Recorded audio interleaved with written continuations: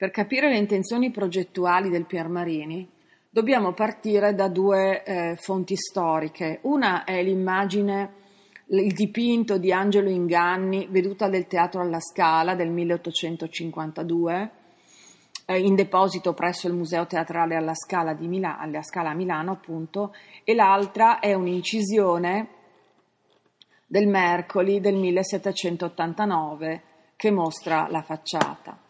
Se andiamo al dipinto eh, degli inganni, vediamo che in primo luogo la, ehm, l'accesso delle carrozze sporge rispetto al volume dell'edificio, ma anche ai volumi degli edifici che costituiscono il rettifilo, che costituiscono il filo eh, delle facciate di via, Marco, di via Manzoni.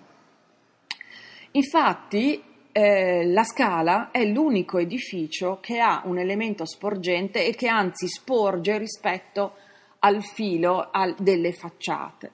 Perché questo? Ma ovviamente per segnalare in primo luogo la presenza di un edificio pubblico di grande importanza pubblica. Tutti gli altri erano e sono palazzi di grande importanza architettonica, ma palazzi privati, palazzi nobiliari o dell'alta borghesia milanese.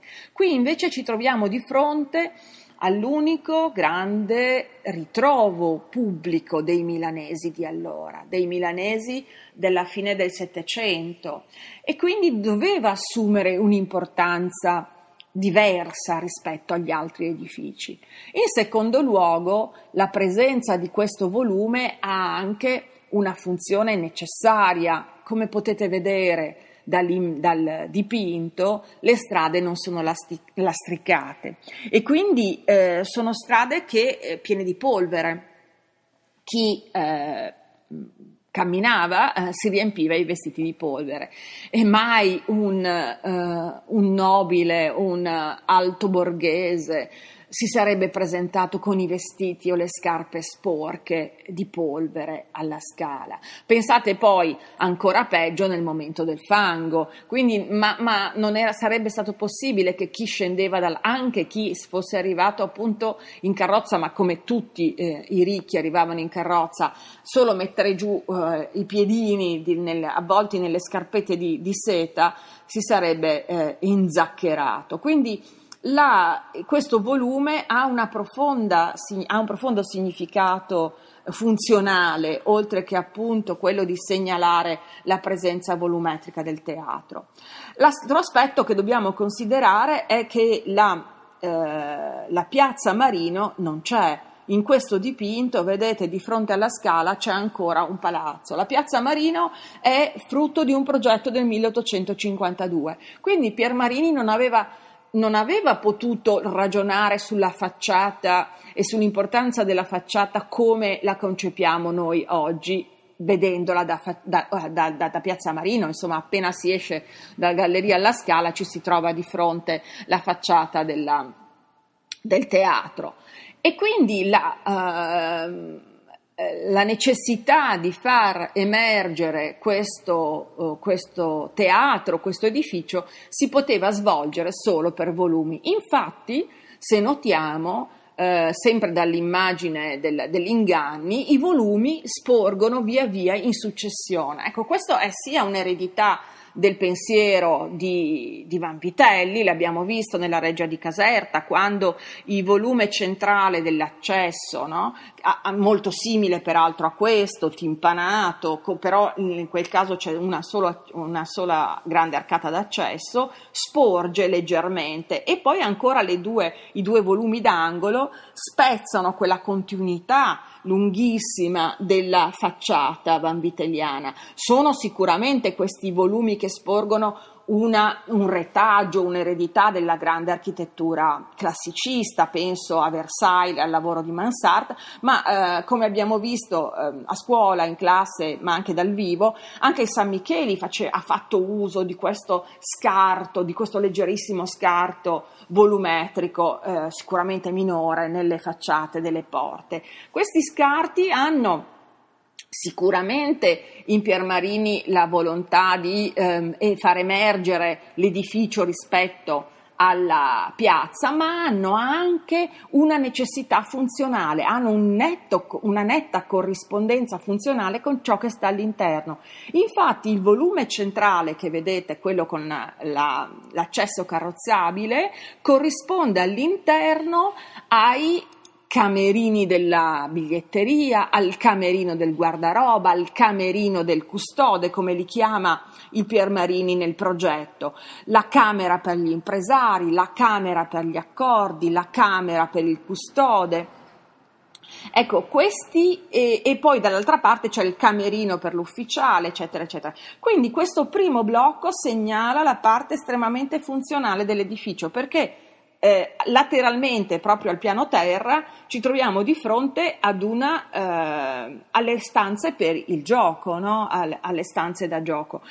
Nella parte superiore, questo nel primo ordine, nel primo piano, corrisponde esattamente alla sala della ristorazione, alla grande sala dove si offrivano i banchetti e dietro alla, allo spazio del foyer del primo eh, del primo piano. Quindi segnalare questa parte volumetrica vuol dire segnalare anche le funzioni specifiche che ci stanno dietro e anche questo è un insegnamento lodoliano. Il Lodoli appunto sottolinea come ogni forma all'interno dell'architettura abbia una necessità, debba basarsi per, su una necessità funzionale e lo stesso Quatremer de Quincy, uno dei più importanti ehm, teorici dell'architettura settecentesca loda questo edificio come uno dei maggiori esempi, anzi il maggiore esempio, il prototipo di tutti i teatri moderni. Nessun teatro eh, prima del, del, teatro di Piermarini abbia questi, ha questi aspetti funzionali e, e, diventa di fatto il prototipo dei teatri, il San Carlo a Napoli, ma lo stesso, lo stesso qui eh, nostro teatro alla Scala, eh, teatro filarmonico è figlio di quell'impostazione. E poi ancora il, eh, il, il, grande teatro di Monaco di Baviera, l'opera di Bo- Monaco di Baviera si basa sul teatro piermariniano. Quindi eh, la, eh, faccia, la facciata in qualche modo, i volumi, scusatemi, denunciano sempre le funzioni all'interno. Infatti il grande volume laterale è quello che appunto segnala la, uh, la dimensione globale del teatro. Se andiamo invece ad analizzare eh, gli elementi del lessico architettonico, ci ritroviamo in pieno nella grande tradizione classicista ancora una volta vediamo che l'attacco a terra, secondo gli insegnamenti eh, vitruviani, è imbugnato alla rustica.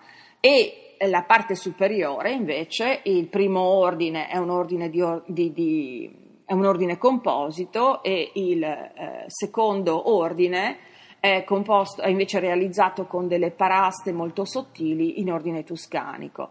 Invece l'ordine intermedio, la, la, il piano nobile cosiddetto, vedete che è composto da delle semicolonne binate nella parte centrale, appunto quella che sporge di più, quella con maggior spessore proprio volumetrico, e le parti e le ali laterali sono invece costituite dalla oh, scansione binaria di, eh, di, paraste, ma anche qui vi faccio notare il sottile gioco che c'è nel ritmo delle paraste, ritmo che diventa in Piermarini, Piermarini strettamente modulare. Si tratta infatti di una ripresa della grande tradizione eh, modulare, della grande tradizione dell'armonia, tipica dell'architettura classica. In questo lui supera sicuramente gli esempi del classicismo seicentesco perché misura e sobrietà sono proprio due chiavi di lettura, due cifre caratteristiche del lavoro piermariniano.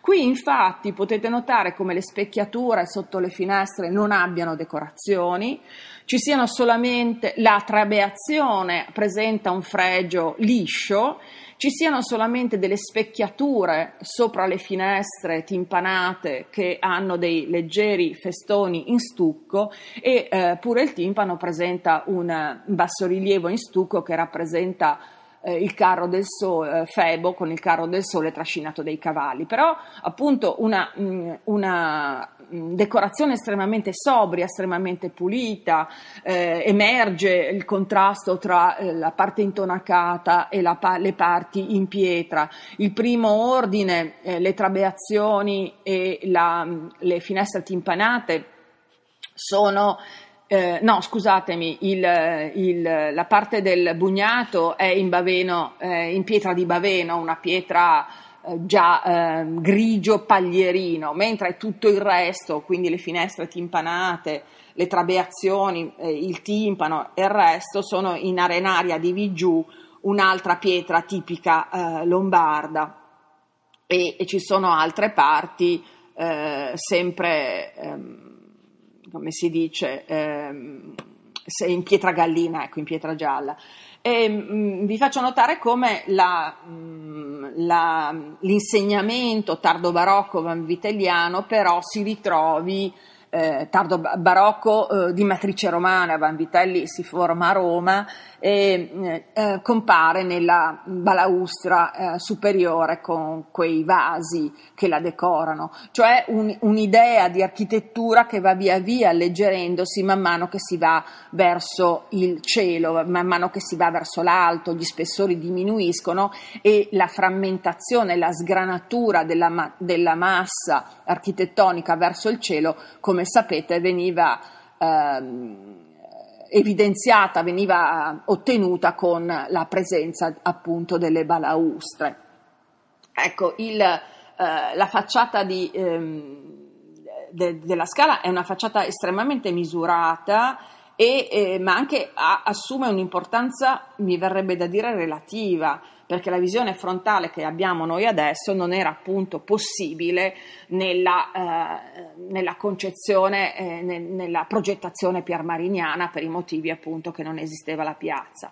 Il volume è un volume, cioè l'edificio è un volume, la compattezza di questo volume eh, e il sorgere del volume verso l'esterno è la cifra caratteristica, anche perché dobbiamo pensare che l'unica veduta che c'era possibile era quella da da via Manzoni ed era una, comunque una veduta di scorcio, perché lateralmente emergeva solamente dalle, eh, dalle viette laterali, eh, che sono anche molto strette. Um, faccio, spendo una parola sul progetto Bottiano.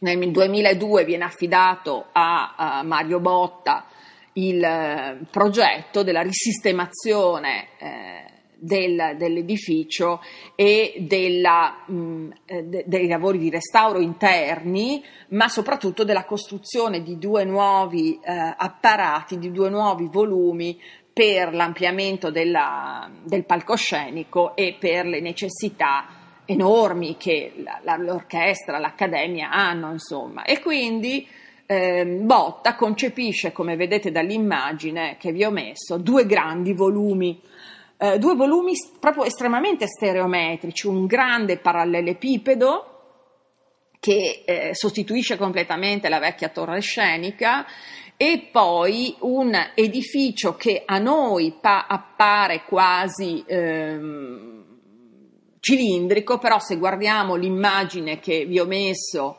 Dall'alto vedete che si tratta di una sorta di, di planimetria ellittica tagliata su un lato e appunto di, di, di un volume pressoché parallelepipedo ma appare quasi cubico.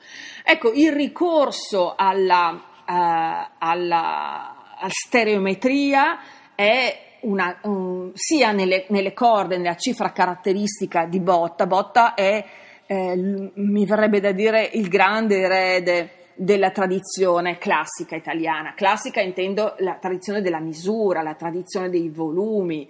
Ehm, e, mm, gli edifici di Botta, i volumi di Botta sono volumi estremamente puri, ehm, sempre cilindri, cubi, tutta la sua, la, la sua architettura all'inizio era proprio legata a queste forme pure mh, mm, della grande tradizione italiana. Penso ad un progetto che tutti conoscete che è l'accesso del Mart e l'accesso del Mart si rifà nella misura, proprio nelle misure concrete, al, al Pantheon, anche addirittura nel grande lucernario superiore. È botta l'erede della grande tradizione architettonica italiana, la misura proprio, no? Dovete pensare anche per, per contrappasso che eh, nel 2002-2004 eh, la, l'architettura decostruttivista di, di, di Zadid, di, di Franco Gehry ormai era prassi consolidata, era, era normale per noi eh, architetti vedere eh, volumi che fuoriuscivano, elementi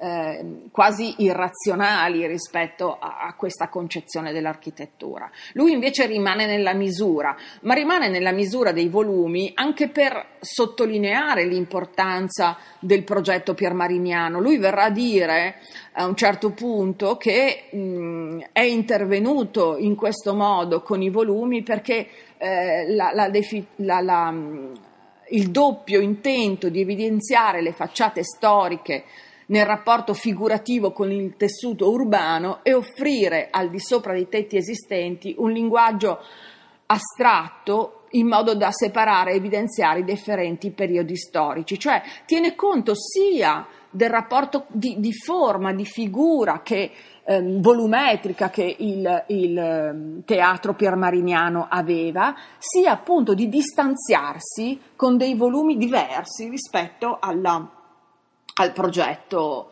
ehm, originario.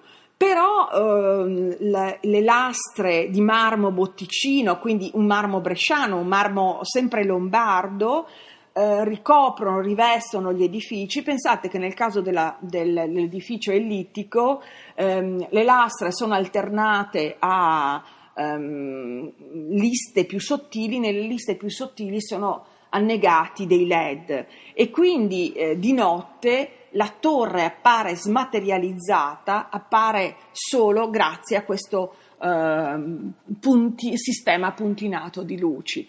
È eh, un progetto mh, che interviene eh, in punta di piedi, ecco, è stato molto criticato perché non è stata capita questo, questo non è stato forse capito, studiato il progetto precedente di Pier Marini e non è stato capito e studiato eh, da parte dei milanesi, insomma qualunque, ehm, il pensiero di Mario Botta. Però come potete vedere ormai è parte integrante del, del panorama milanese e risolve benissimo tutti i problemi tecnici che il vecchio teatro ormai mostrava. La, intanto il palcoscenico è stato portato a, a quasi 100, il palcoscenico, proprio lo spazio scenotecnico, è stato portato a quasi 100 metri. È stata costruita uno spazio per l'acqua, per appunto eh, contro gli incendi, eh, hanno rimosso tutti i materiali non, eh, non consoni alle moderne esigenze antincendio. Pensate che hanno fatto 120.000 metri cubi di macerie e 10.000 viaggi di camion per portare via i materiali.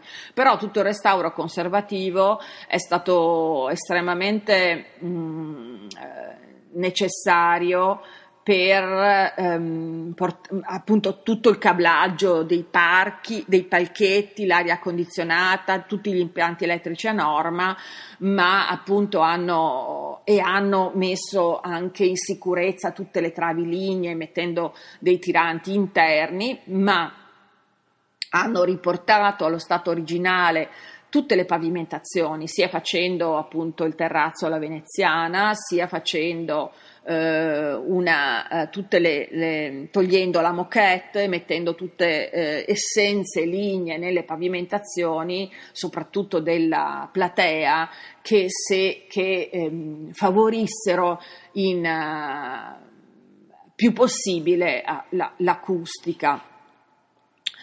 Ecco, eh, qui eh, termina questo lavoro su Piermarini.